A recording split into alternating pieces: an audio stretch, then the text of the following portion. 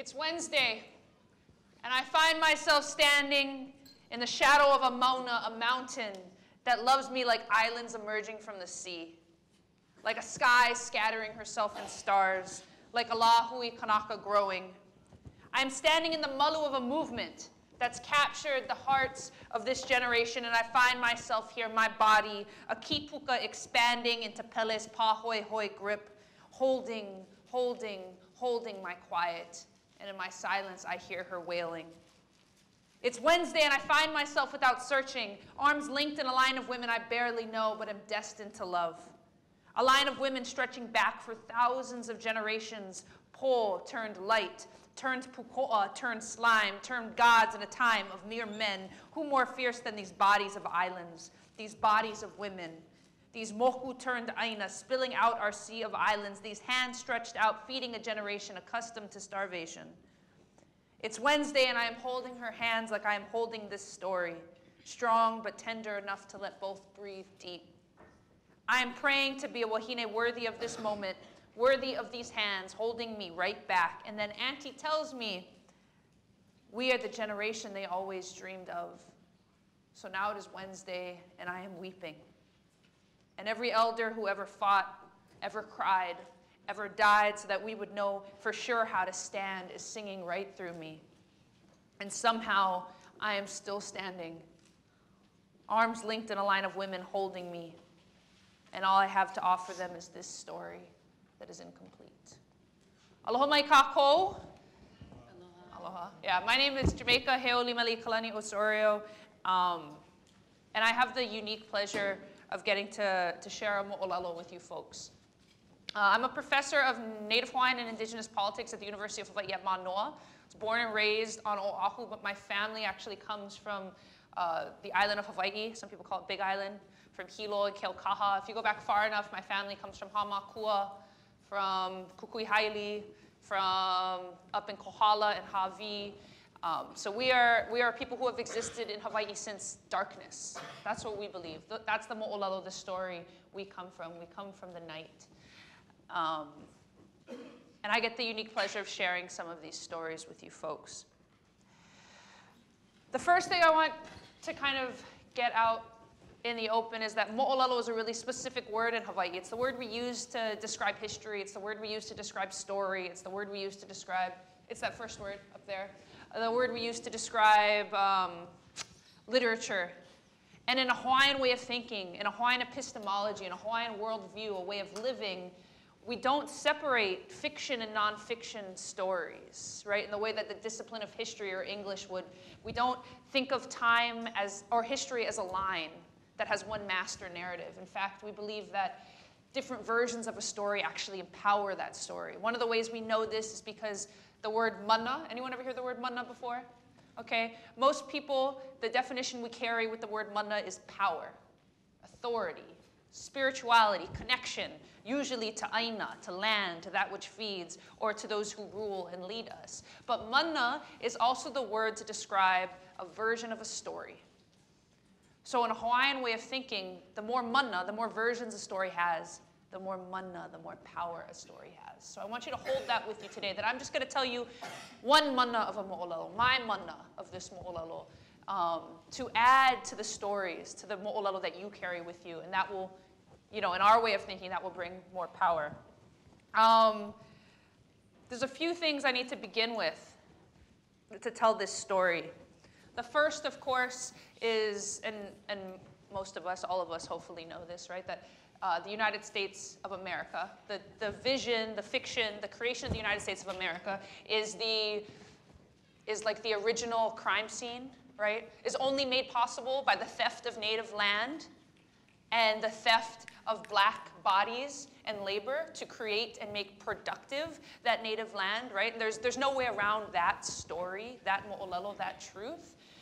Um, so today I'm going to use a word, um, I'll probably use this word a lot today, settler colonialism or settler state, right? And that really just describes this particular world we live in in the United States that's only made possible, that's only maintained by the continued theft of native land and the continued disenfranchisement of brown people in particular, um, and the, the continued, what's the word? Uh, exploitation of black labor right? And the capital that was created by that black labor. Um, so that's the first crime we have to like understand at the bottom of this story. In Hawaii, we have a particular mo'oku'auhau. That's what that word says, mo'oku'auhau. It means genealogy. Um, to give us a little bit of a sense so that we're all on the same page, Hawaii was an internationally recognized nation state as of 1843, recognized by the League of Nations, which means Europeans, Great Britain, France, and eventually the United States said, Hawaii, you're a real country. Okay, what does this mean? This means that when Hawaii was illegally overthrown in 1893, and is said to have been annexed in 1898, but we were never annexed because there was no treaty. If you study um, American law and international law, the only way you can annex a country is with a treaty. There was no treaty of annexation in 1898. Because of this, Hawaii remains to this day an illegally occupied nation state. The fiction, the mo'olelo, the story told around the world is that Hawaii is the 50th state of America. But the 50th state actually doesn't exist legally. Um, and, it's a fic and as we continue to uphold that fiction, we continue the violence of upholding that fiction.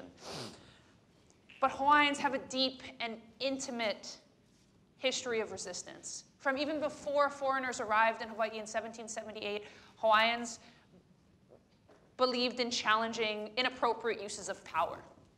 So as early as Manono and Kekuaokalani in 1819, when they fought what they believed to be the unjust fall of the Aikapu, and we'll talk about what the Aikapu is in a little bit, but that was like the governing laws of that time, um, to the first Maka'ainana, also known as uh, commoner petitions in 1845, when Hawaiians were petitioning their government saying, we should not let haole, foreigners, vote, we should not let them own land. We should not let them start businesses because they will overthrow us, because our people were really smart. So they wrote petitions. Um, or the petitions in 1897 against the annexation. Our people were always fighting against what they believed to be unjust uses of power. Then there was this, this great period of mourning after the illegal annexation of Hawaii, after the forced assimilation of Hawaiians into American life. And it wasn't until the 1970s, when a group of Hawaiians began to protest evictions in Kalama Valley, farmers, mostly pig farmers and others, um, that this new contemporary movement of Hawaiian activism began. And what makes this a really interesting story to tell today in the midst of uh, a celebration of Martin Luther King and his legacy is that the folks who protested in 1971, a small group of them, their leadership had traveled to the United States. They had studied under the Black Panthers.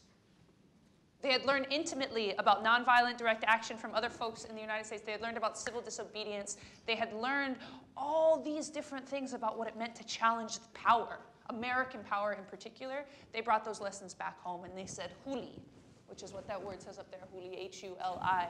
And it means to overturn, it means revolution. But it also, Huli describes the part of the kalo plant, which is like our, our main staple in Hawaii and our ancestor. It describes the part of the plant that's replanted. So Huli also means that this is an intergenerational effort. We learned that from civil rights activism in the United States. We learned that from uh, American what they called American Indian, the American Indian movement AIM and the Red movement in the United States, and we brought it back home, eventually culminating in the fight to protect Kaho'olawe, an island that had been bombed since World War II, since before World War II in 1976. So that's a bit of our, our genealogy of resistance. Today I want to talk about how that resistance and the current movement to protect Mauna a Wakea is not just about fighting any one particular issue, but really about a new way, a new and old way to think about living in this world, rooted in indigenous thought, indigenous knowledge, um, and indigenous practices for future. Because oftentimes, when we talk about Native people in the United States, we talk about them in the past. We talk about them like they're not still here because they don't look the way we expect them to look, right? All the natives are dead. That's our concept, right? When we grow up, we learn about Thanksgiving. We're celebrating Thanksgiving because the pilgrim, pilgrims came to the United States and they met the natives and they were so nice, and it's so sad that they're all gone now. That is a lie. It's a lie the United States tells us so that we can continue to settle on this land as if there's no other rightful inheritors of this place. So we have to talk about natives as if we're still here because we are still here. Um, and so I'm going to tell you a story. I'm going to tell you a story about a mountain. This is Mauna a Wakea, uh, the mountain of Wakea. Wakea is the name of our, our God of the heavens, the God of the skies. Um, Mauna Kea is sacred. It's, it's, I'm not going to argue that it's sacred. I'm going to just tell you it's sacred. And Mauna Kea is sacred for, for a lot of reasons. One, Mauna Kea is Aina. It is land. It is that which feeds us. All Aina is sacred. Doesn't matter if there's already a building on it. Doesn't matter if it's a peak or a valley or the ocean. It's all sacred. Mauna Kea is especially sacred because it's the highest point in the Pacific. In the entire Pacific, it's the highest point in the Pacific. It's the largest mountain in the world when measured from the seafloor. That's what some people don't know. Like, I think Everest, Everest is like taller from like ground level, but if you measure the Mauna from the seafloor where it actually begins, it's the largest mountain in the world. And so our peaks are incredibly sacred. And so it's a place that we have long fought to protect. Raise your hand if you've heard anything about this contemporary movement to protect this mountain. You've seen pictures online, YouTube. Okay, so not too many people. That's cool. Um, today there is an ongoing effort and movement to obstruct the construction of a 30 meter telescope on the summit of this mountain. Um, and when people hear that, if they, they don't know the history of this, they're like, well, what's wrong with the telescope? Like, why wouldn't they be into telescopes? Are Hawaiians anti-science? Do natives hate the future? Um, this is what people say in the news. Okay, this telescope comes into a particular context. And this context is kind of outlined here. I'm not going to go into great detail about it. The, the words are here. But basically, in the 1960s, the Board and Land of Natural Resources offers the U University of Hawaii at Manoa, where I work, a master lease for 13,000 acres at the summit of Mauna Kea. These 13,000 acres are considered what we call ceded lands, lands that were illegally seized by the United States at the time of the overthrow. These are lands that are believed and known to belong to Native Hawaiians, that we should have the right to determine what happens on those lands. Essentially, they start building telescopes. There's already 13 telescopes on that mountain. Many of them were built without permits, got permits after the fact, broke law after law after law to develop this sacred site. In 2000, this is, a good, this is an important detail. In 1998, the Hawaii State Auditor releases a critical report documenting 30 years of mismanagement by the University of Hawaii and the state of Hawaii of that mountain. They basically say, yeah, they're messing everything up. They're messing up the ecological life up there. They're messing up the rights for Hawaiians to practice traditionary and customary rights in Hawaii, which is uh, in Hawaii um, a constitutional right to practice. So there's all kinds of problems with the fake state of Hawaii and this Mauna.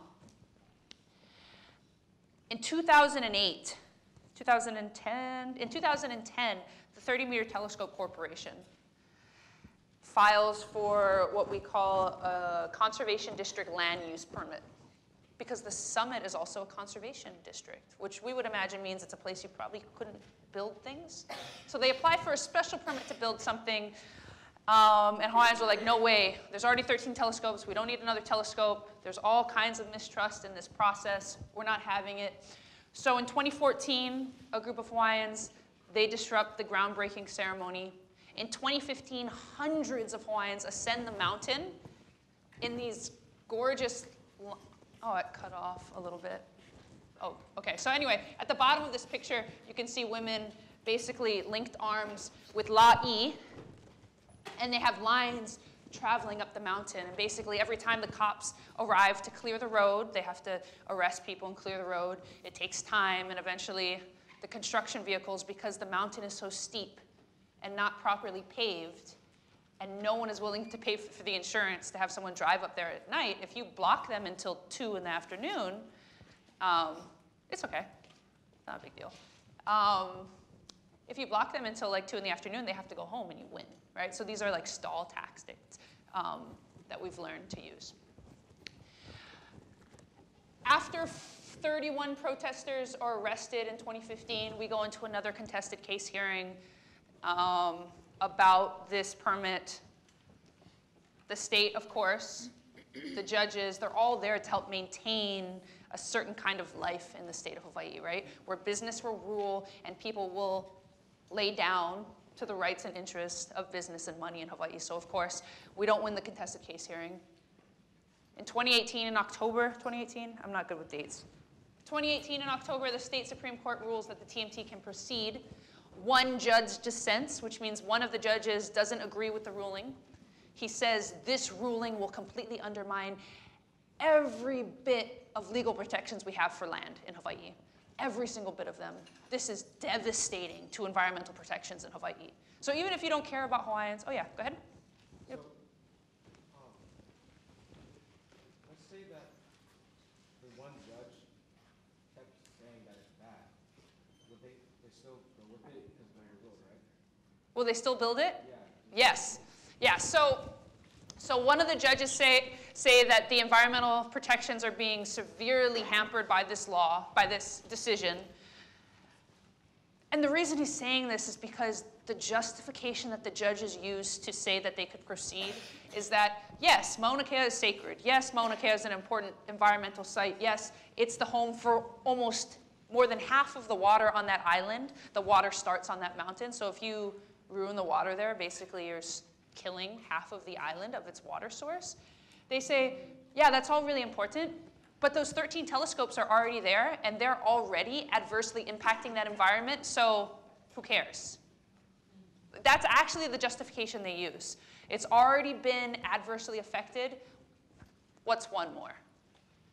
That's a really harmful way for us to think about how we're going to deal with people and land, right? We can see all the ways that that turns. That's not a slippery slope. That's like a, that's just a nosedive into like concrete of bad decisions, right? So, but it doesn't matter that he dissents because he doesn't win the ruling. The dissent offers us an opportunity to see the problems with the decision. Then in 2019, this past July, we got notice that construction vehicles were going to try to go again and build a telescope on Mauna Kea. So what did we do?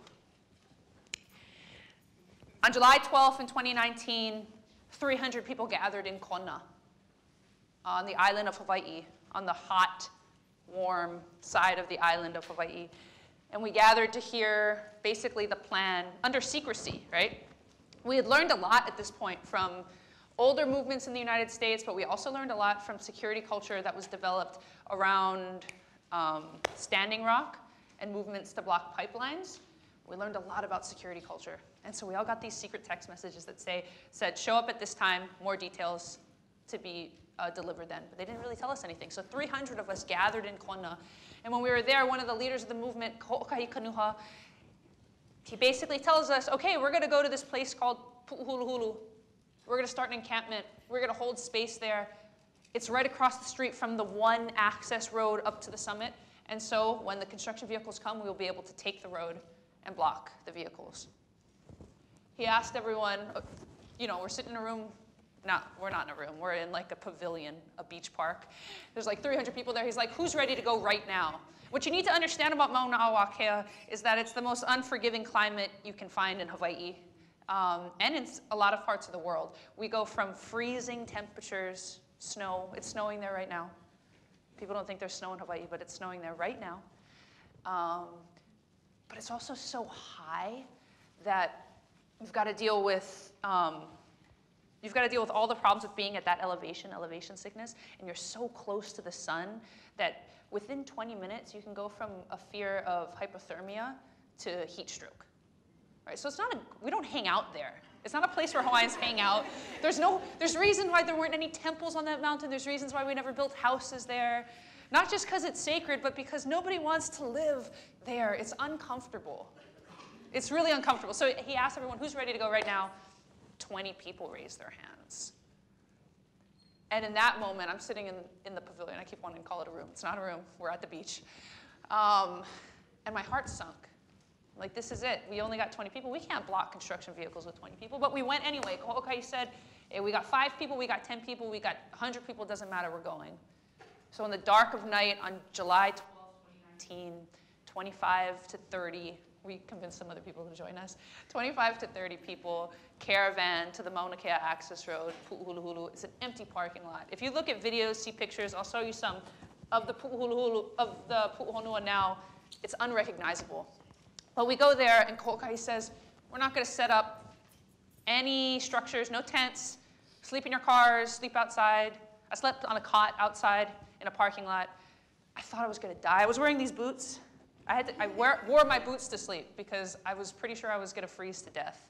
I was like, this is it. This is where death comes for me.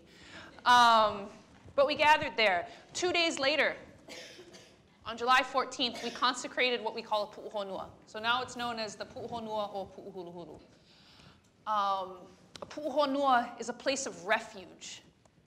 And what I'm offering you here, guys, in, in telling this story, right, is all these different institutions and ways of organizing power in a Hawaiian way of thinking that don't really work in kind of nation states, right, an alternative. Pu'uhonua is a place of refuge. It's a place where historically, if you were being prosecuted by a chief, who in historic times, if, if they prosecuted you, they could just kill you, right? If you made your way to Pu'uhonua, your case could be heard and you would be spared. So it's a place we find safety when the Kia'i of Mauna Kea, when the protectors of Mauna Kea established the Pu'uhonua at Pu'uhuluhulu, we did a few things. We marked the boundaries. We walked the boundaries of this Pu'uhonua and we marked it. And basically we were saying, this is our jurisdiction now. We're taking control of this land. But we also elevated our behavior because a Pu'uhonua is a sacred place.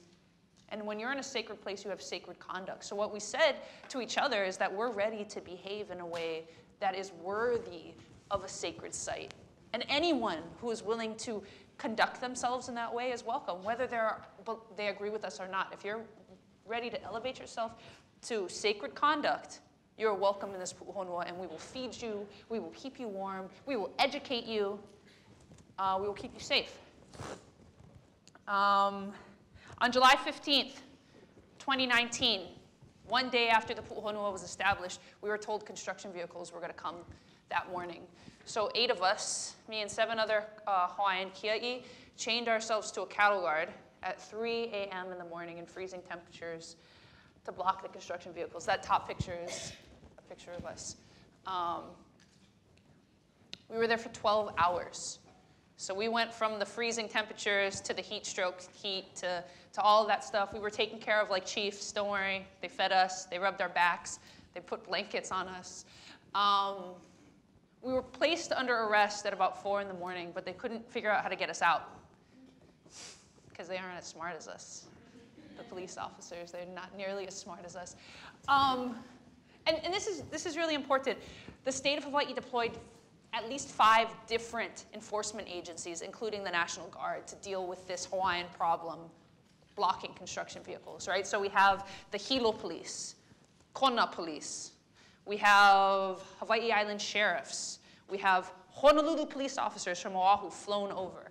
Maui police officers flown over. They fly over the Maui and the Honolulu guys because they have riot training. And they have riot gear, a lot of riot gear. They fly them over, they say, we're not gonna, we're not gonna do any of these more like hugging, singing, and chanting things with the police officers and making the police cry. We're gonna bring force. We wanna, you know, we want to show force the way they do in the United States, you know, all kinds of crazy stuff. This is what the state wants, not necessarily what the police officers, individual police officers want. By three in the afternoon, every vehicle they've sent to come carry us away breaks down on the road, right in front of us. Breaks down close enough that they can see it, but not close enough that they can use them. This is what we call like divine kupuna ancestral intervention. What do the kia'i do? What do the protectors do? They help the cops push the vehicles out of the way and into safety. So at about three or four in the afternoon, they say, okay, well, we can't take construction vehicles up now. Um, you're not, you're unarrested. I didn't know you could be unarrested, but we were unarrested. They're like, please unchain yourselves, use the bathroom, we're afraid for your safety. I, I, told the guy, I was like, if you're afraid for our safety, you would stop trying to like make way for construction vehicles. He's like, yeah, I hear you, but will you just go use the bathroom? I was like, yeah, okay. Um, so we won that day. They told us, you can come down, we will not build anything else today. Nothing will be built today. And so we came down the mountain. They lied. Um, they immediately started to build a, a gate. And not a lot of people know this, but that's what actually started the kupuna tent in the middle of the road. They immediately started to build a gate. We were infuriated. We took the road back. We said, you better take down that gate, and we have some demands. And when they, they did take down the gate, but when they refused to meet any of our other demands, that's when our kupuna, our elders, said, we're not leaving this road. No one goes in, no one comes out. Um, two days later, the kupuna are still holding the road, and 38 of them were arrested. Um, I have a video. It has sound. It doesn't matter if the sound plays. oops, no. Will it play? I don't think it's going to play. That's okay. Um, this was a turning point in the movement. Before the cattle guard, there were maybe 100 people, maybe 200 people at the Pu'uhonua. After the cattle guard, there was over 1,000 people who had come to show support and block construction vehicles. Oh yeah, it's playing. After 38 of our kupuna were arrested, oh, here we go. After these kupuna were arrested, there were over 4,000 people the next day at the site of this mountain, flying from all over Hawaii, all over the world. Hawaiians from California, the West Coast, Washington, Oregon, some as far as the East Coast, flew to Hawaii. They said, there is no way I'm going to allow someone to arrest our kupuna, our ancestors, our elders. I'm going to put my body between this mountain and anything that comes its way. So this is just video footage of them being arrested. Many of the kupuna were carried. Police were prepared for a dozen arrests because that's how many we thought we had who were willing to get arrested. But every time a kupuna was pulled out of their seat, another one sat down and took their place. And then another one, and then another one, and then another one. This took hours. Um, and hundreds of thousands of people around the world watched this happen as it, as it occurred. And that's what brought so many people the next day, over 4,000 and then 5,000 and then 6,000. I think one day we had like seven, 8,000 people there. Um,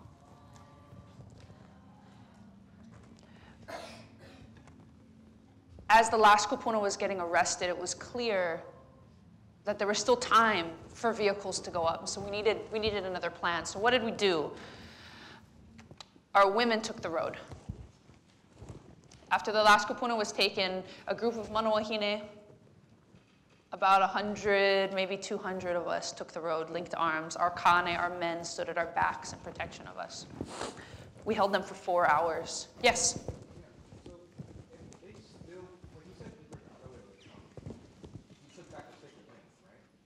What, sorry, one more time? Yes. I agree with you. Why did they still come? We're going to talk about this. Excuse Hold that thought. Just a minute. We welcome discussion. We just need, a, we got to get a microphone if people want to talk so we can get it to the. Okay. Well, I can just repeat his question Yeah, for now. now. Yeah. So, um, what's your name? Stephen asked um, if we took jurisdiction of the road and it was clear that no telescope was going to be built, why did they keep coming? Really good question. This issue has become about much more than just a telescope. It's about who's going to be in charge in Hawaii. How are we going to live in Hawaii? And so the state has doubled down, spending millions of dollars to try to remove us. Um, so our women took the road. We held the road for four hours. And this is really, really important. You notice that the police officers, the way that they were lined up, they're using the same, uh, what is it called? They have the same physical strategies as police officers, riot control strategies as police officers in the United States, but their behavior is very different. It's really, really important to understand that while there is police violence in Hawaii and there's a state-sanctioned violence issue happening in Hawaii, it's almost unrecognizable to what we see in the United States. This is explicitly because in the United States, folks who study police violence and police, the institution in the United States, understand that when we get police, we have them policing in areas that are not their own communities. That's intentional. You don't want pilina, relationship, intimacy between police and the people that they're policing from an American standpoint because then it's e- it's harder to just follow orders and just do whatever someone tells you because you're interfacing with people that don't really matter to you. In Hawaii, that's not the case. We're being policed by literally our brothers and our sisters and our aunties and our cousins and our uncles. In the video I showed you, some of those kupuna were being arrested by their nephews. And they asked for their nephews. They said, uh uh-uh, uh, you are not going to arrest me. He's going to arrest me. When we faced them, faced off with them for four hours, there were police officers weeping in front of us. They had their sunglasses on, they were shaking. And so there's a different, Hawaii has a different opportunity here to talk about nonviolent direct action and civil disobedience because I only heard the, the last bit of the, the lecture before me about, um, and he was talking a bit about nonviolence and how oftentimes nonviolence begets violence upon you, right? Nonviolent direct action is, and you have to kind of just take it. What you're saying is, I'm going to behave in this particular way as a strategy, and I know violence will come for me in this strategy. It's a different situation in Hawaii. Because while they can use force against us, it's a lot harder for them to convince their police officers to use extreme force against us. So these are some of the like intimate differences between what's happening in Hawaii and around the world, which is why this is not what it looked like at Standing Rock, which is why it was really dangerous when the, when the state of Hawaii shipped in National Guardsmen from the United States to come deal with us because that was not our family right? That was going to be the second time in Hawaii's history that the National Guard was deployed. Um, and we didn't want to we didn't want to see the other end of that. So anyway, we take the road. We win the day again. You can see in the back we're like celebrating because this is when the cops turned around and walked away, essentially. But then the governor of Hawaii declares a state of emergency. A state of emergency is a really particular thing to, to deploy anywhere in the United States. And, and I'm, not a, I'm not an expert on this, but I can tell you what I know about a state of emergency. One, state of emergencies are often used in um, when there's a national disaster, right? So Hurricane Katrina, um, or in Hawaii, like, or when there are uh, big bushfire, brush fires in California, right? You can declare a state of emergency because, on the one hand, it allows you to use funds in ways that you can't ordinarily use funds as a state. So you can draw from other pools of money without the same kind of questioning, without the same kind of needing the same kind of authority to do so. But you can also circumvent your own laws. You could create curfew. You could do all kinds of things when you declare a state of emergency. When, so when the governor did this, he was really like exercising his power to say, nah, I'm in charge here. I don't care what you guys do. Like, I'm going to use as much money as I want. At this point, they had spent five or six million dollars trying to remove us. Today, to date, they've spent probably 12 or 13 million dollars trying to move, remove Native Hawaiians from their own land. Um, and all of this was justified by the picture of pro protesters that they painted, basically saying we were lawless, we were dangerous. Sound familiar? Right? Those lawless, dangerous, violent criminals that's the story that they were trying to paint. Unfortunately, we had a really brilliant media team. We still have a really brilliant media team. That's why we have all these gorgeous photos. Um, and the public wasn't really buying it. But the state had to double down. Because if the state just said, okay, you guys win, what kind of opportunities would that have afforded Hawaiians and others in Hawaii to say, now, there's a lot of other things we want to change about Hawaii. We want to do a whole revolution in the way we talk about business, the way we talk about capitalism, the way we talk about governance in Hawaii. And so they doubled down. Um, I'm going to brush through this. There's a lot of reasons why the state of Hawaii doesn't have jurisdiction to make these kinds of decisions, right? On the one hand, we can talk about the illegal overthrow and annexation. That means we're illegally occupied, and so a Hawaiian government still exists and we should be able to make these decisions for ourselves. On the other hand, we can look at the fact that the, the road that travels up Mauna Kea belongs to the Department of Hawaiian Homelands, which is an agency that was set up to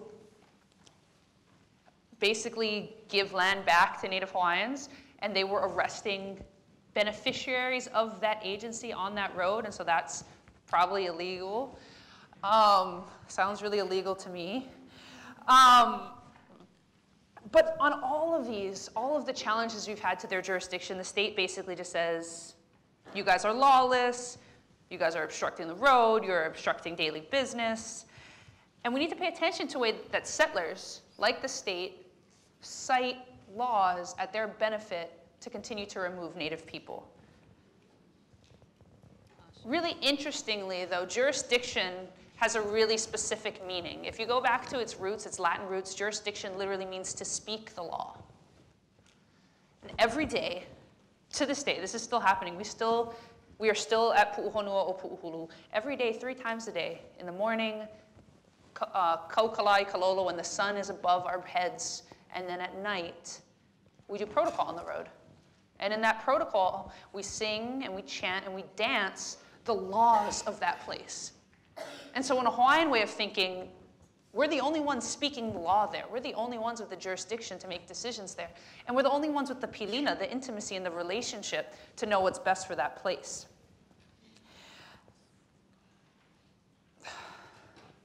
So, when we talk about jurisdiction, when we talk about wanting to live in a different society, right? We don't just want to deconstruct these systems and structures, and we do. We want to get rid of them. We want to overthrow the, these structures that don't serve us. We can talk about capitalism. We can talk about patriarchy. We can talk about, um, I don't know, overdevelopment of our land. We can talk about all these things that don't work for us in Hawaii. But people often ask us, well, what do you want to do instead? Like, we can't live in a world without capitalism. People really think that. People really walk around the world saying that thinking capitalism is natural and that we're born to be cap capitalistic. That's not true. In fact, we can see all around the world the way that capitalism was brought through colonialism to, to exercise power over people and land. Capitalism didn't always exist, right? So what are our alternatives, right? If we're saying these laws aren't just, and in America, we can see, in Turtle Island, we can see all the ways that laws and justice don't mean the same thing, right? So when people say, oh, they're doing that, they're following the law, we know that that's like a really limited argument, right? Because we know all the things that were legal, continue to be legal in this country that are like horrible things. Yes? Okay, cool. So what else would we do if not follow their laws? Well, in Hawaii, we have a different way of thinking about collective agreements historically. Kapu is one word that comes to mind. The definition is up there. Um, in Kapu today, we most often think of it as keep out. The word appears on fences. It says you're going to be prosecuted if you keep moving. Strangely enough, this word has been appropriated to be used to keep Hawaiians out of their own land. Uh, but kapu doesn't mean keep out. Kapu means, kapu marks the sacred. It shows you what places are sacred, what places require you to understand your relationship to the sacred, your proximity to the sacred.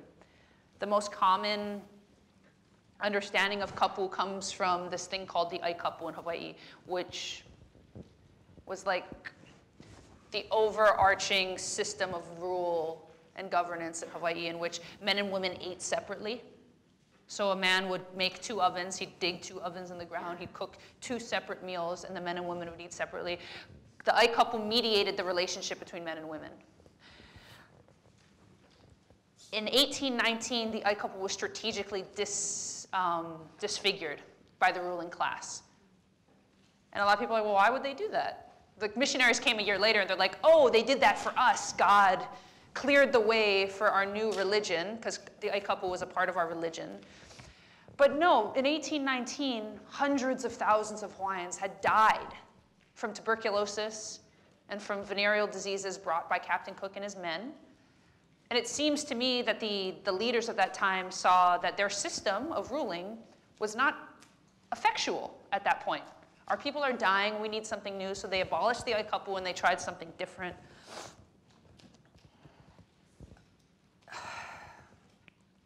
This demonstrates to me one of the ways that our people are not as married to one way of doing something, one system or, or structure of doing something if it doesn't work. If they look around and they see this is ineffectual, we're going to change the system and structure. In contemporary Hawaii, the settler state has reduced this idea of what is sacred and protecting to protecting individual commodities and property. Okay, so if we return to kapu from a Hawaiian way of being, we understand that kapu requires us to really understand our land. It requires those who make decisions about land are close to the land, are intimate with the land, are fed by the land, feed the land back. It's an inter, um, interdependent relationship. Another place we can turn for an alternative way of thinking about rulemaking, about governance in Hawaii, is this word kanawai. The definition is up there. Today, the word kanawai has been similarly appropriated by the state to describe the same laws and statutes that enable the removal of Hawaiians from our land. And unfortunately, this marriage of terms is reflected in almost all the dictionary definitions. If we had a longer time, we could talk about uh, the politics of translation, right? So oftentimes when I say kanawai and I ask people, what does kanawai mean? They say it means laws. Our concept of kanawai today is that it means laws, but kanawai and laws aren't the same thing, right? In the same way that like, um, if I had a picture of an apple up here on the, on the projector, and I said, that's an apple, you would say, no, that's not an apple, that's a picture of an apple, right? They're not actually the same thing.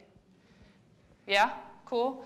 Or, or like if, if you have, this works even with like slang terms, right? If you have a term, all I can think of are like stuff back home. Um, let me think. Uh, okay, here's a good one. Koa. The word koa we often translate today as warrior, as soldier, because that was the word given by the chiefs to the people who fought in battles. But the word koa doesn't actually mean warrior or soldier. It means it's a certain kind of tree. It's a really hardwood tree with really deep roots. Then you can plant a koa seed, and 20 years later, a tree will sprout out, right? So what I'm saying is that like Hawaiians who fought in battles were like trees, not like the US military and what we think of as soldiers, right? So like these translations matter and the way we think about these terms matter.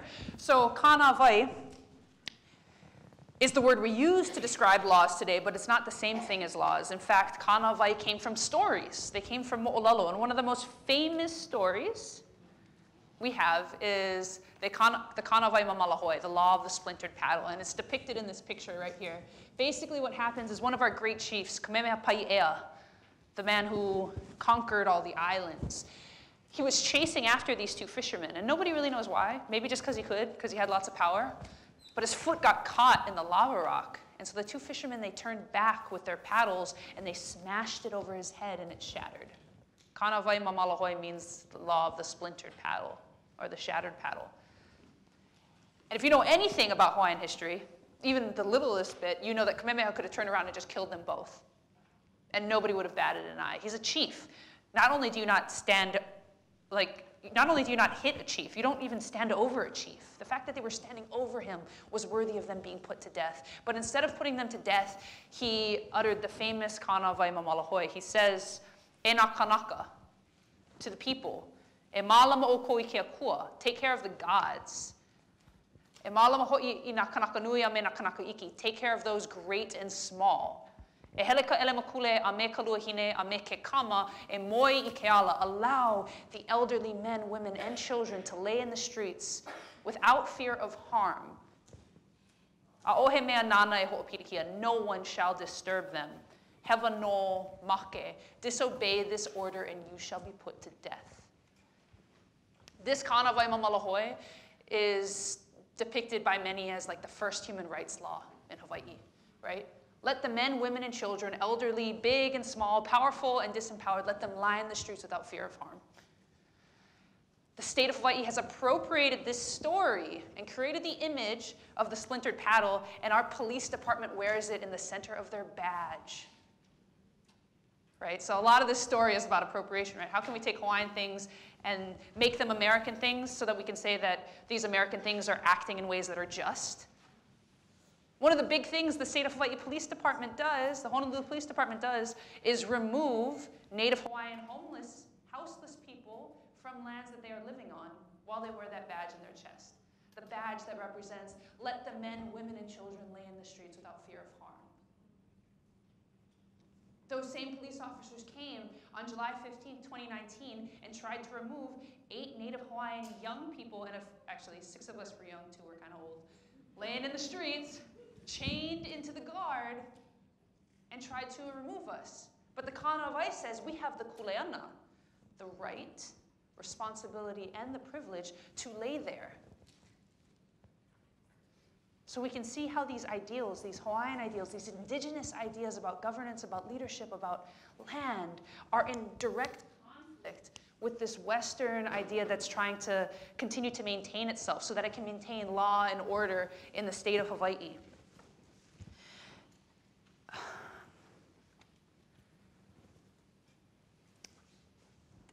I only have a couple more minutes because I want to I want to leave time for questions. If I had more time, I would just tell you more stories.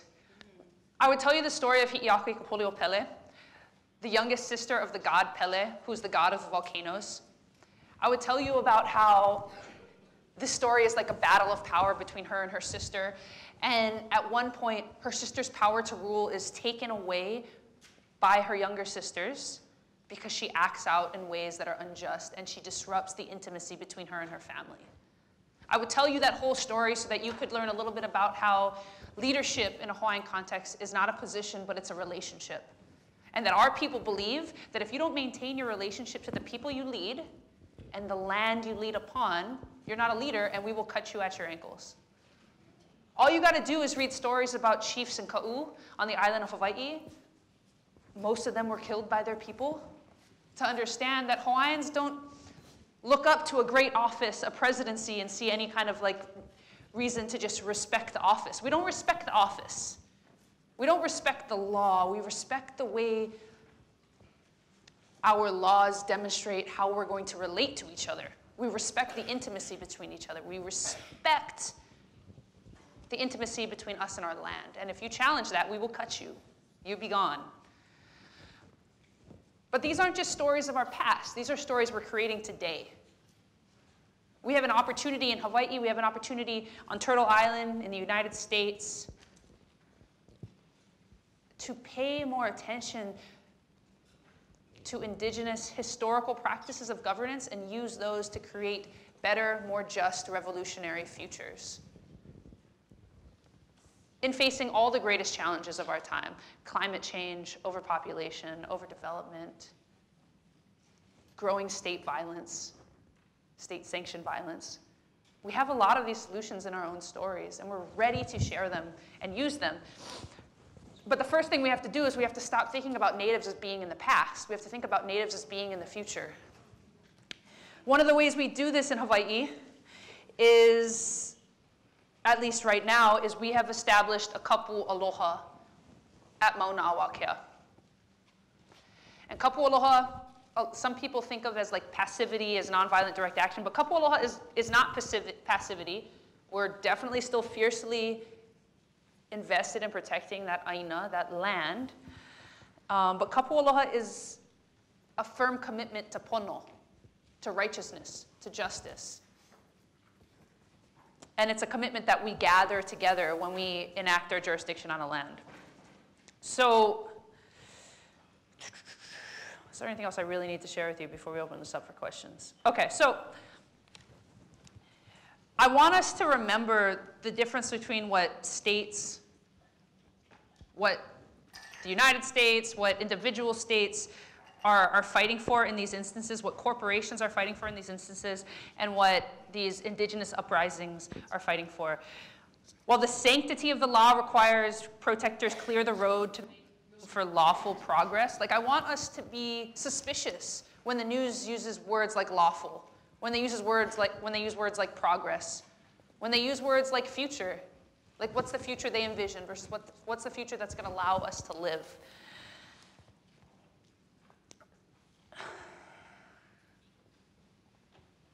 Sorry, I'm just trying to figure out what has to be said and what can be left for question and answer.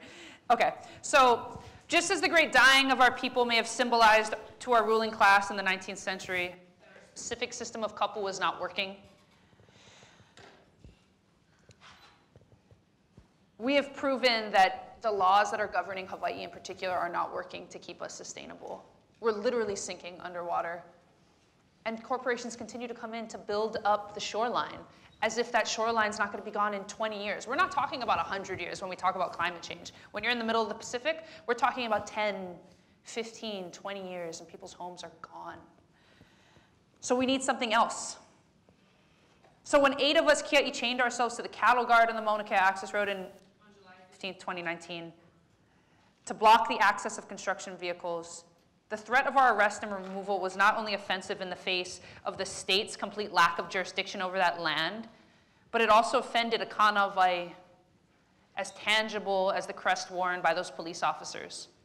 When we chained ourselves to the guard, we held the words of Kamehameha within our bones. We knew that as Kanaka, we had the kuleana, the right, responsibility, and privilege to lie in the streets without fear of harm. So when we asserted ourselves based upon that kuleana, carrying our stories within us, we challenged not only the 30-meter telescope's movement of construction vehicles, we challenged the occupying settler state of Hawaii's marriage to its idea of rule of law.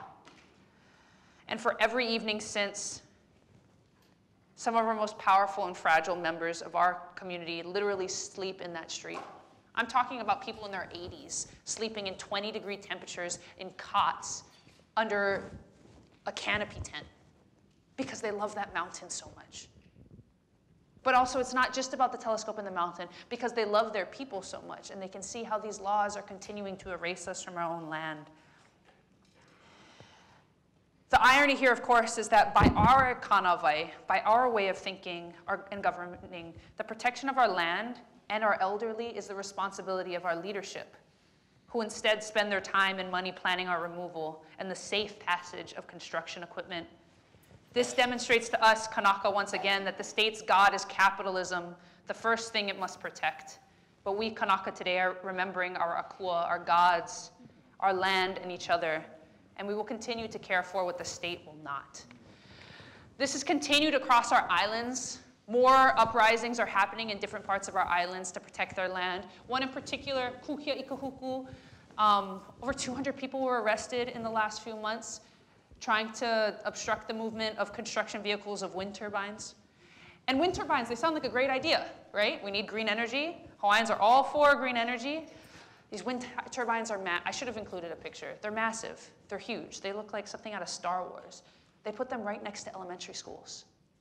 Like, like I'm standing here in the turbine, this is me in my playground at my elementary school and the turbine is where that clock is. And these turbines create all kinds of disruptive sounds, like can literally make people puke from the sounds, they can make them sick. But nobody cares because Kahuku is where all the brown people in Hawaii live. So let's just put all the turbines there, right? So they were fighting against this unjust use of power and development. And it's happening all across our islands. This is just at the state capitol a few days ago in the opening of the ledge. Thousands of people gathered to assert our rights as Native Hawaiians. Ultimately, we call ourselves protectors because we say we're protecting our land, and we are. But I also want to remind us that our land, in a Hawaiian way of thinking, our land is going to outlive us. So in many ways, we are not just protecting her, but our land gives us an opportunity to get our humanity back and live as Hawaiians and understand what it means to live in relationship to these places. So much of colonialism has tried to disrupt our relationship to place, right? Kill the natives, move them from their ancestral homelands, so that they don't have a connection to the place that they're on.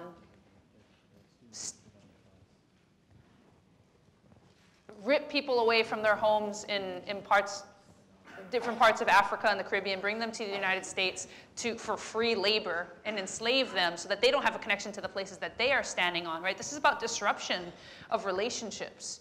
So one of the best things we can do is reestablish that relationship to place together. Thank you all.